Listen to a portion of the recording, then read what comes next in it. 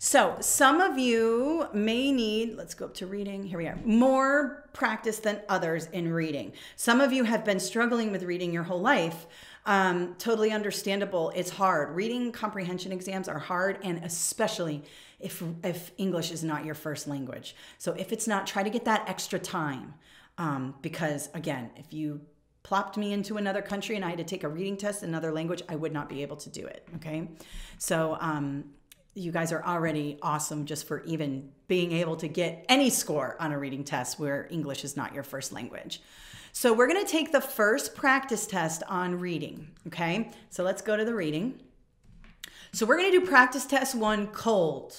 We're going to see where we are. Maybe you're one of those who's just really good at reading practice tests. Fine great you got a good score you got like an 80% you're doing good you may just want to review these these parts of the book take practice test 2 and move on with your life go take it but if you're someone who struggles this is where you can do some intensive practice so um, practice test 1 notice that we have short passages we have longer passages we have graphs we have, let me just scroll down here. We have even longer passages. We also have very, very long passages like this one here. On the Praxis Core, you're going to have short, mid length, long, double passages, and graphs and charts. We have them all here. We cover them all here. So we took this practice test, and you know what? Maybe I don't look at the answer choices yet, um, the answer explanations yet. There's 60 or 56 questions here. Maybe I just grade it because I want to save it for a post test fine grade it don't look at your um, don't look at the answers don't circle the correct answers grade it put it to the side measure your skills and then figure out okay where am i here? What's my score? Give yourself a percentage. How long did it take? Time yourself. How long did it take? And uh, what questions stumped you the most? All right? Or maybe which which passages stumped you the most? All right? Then, then ask yourself a couple questions. Based on my score, I feel that I need intensive practice because I am not comfortable with this test, or just some regular prep and a little practice. There's pretty much two people in this world when it comes to the reading people who need intensive help with reading, and people who just need to brush up because they're already readers and they don't get test anxiety about reading. Okay. Now, let's go to step three. Here we go to prepare. I've already taken my uh, practice test one, I've gotten my score. Now, what I'm going to do is I'm going to start looking over my book now.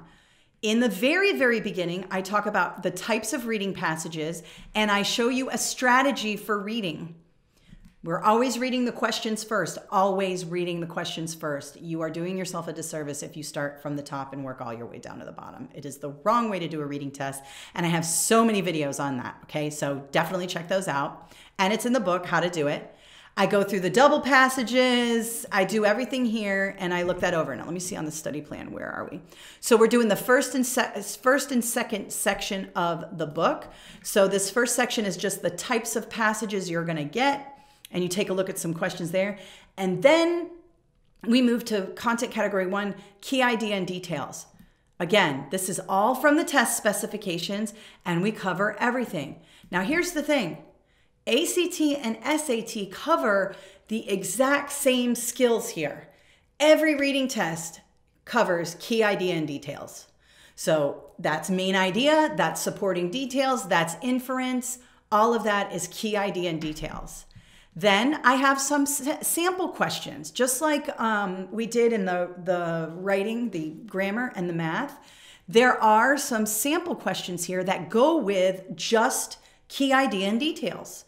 So make sure you take a look at those and evaluate that.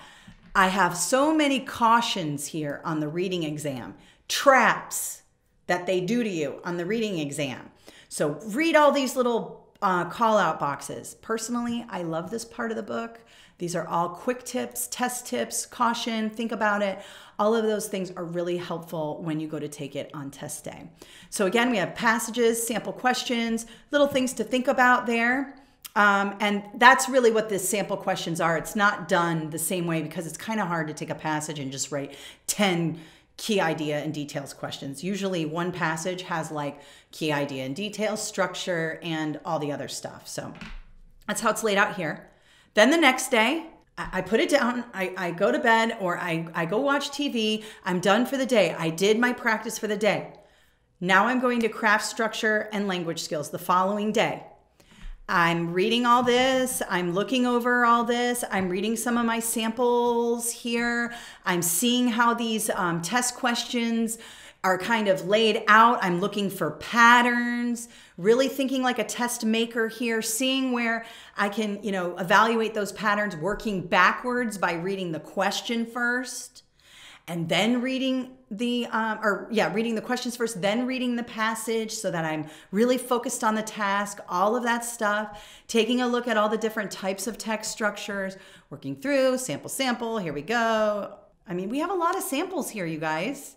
Every time i scroll through it i just love this new book so much. I'm really proud of it. And then i go put it down and i take a rest and i come back to it the next day.